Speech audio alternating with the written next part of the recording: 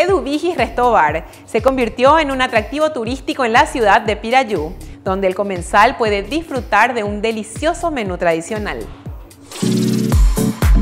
Tratamos de hacer siempre de la forma de ponerle mucho cariño por sobre todo, siempre como le digo a, mi gente en cocina, que todos los comensales son especiales y únicos, que todos son iguales y que les guste la comida y que nuestra comida trate de ser casera,